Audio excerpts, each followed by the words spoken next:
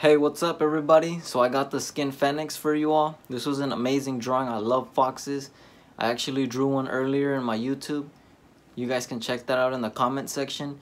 Also, if you didn't already know, I have my own creator code. So if you guys would love to support a creator, then I would appreciate that a lot. Here it is.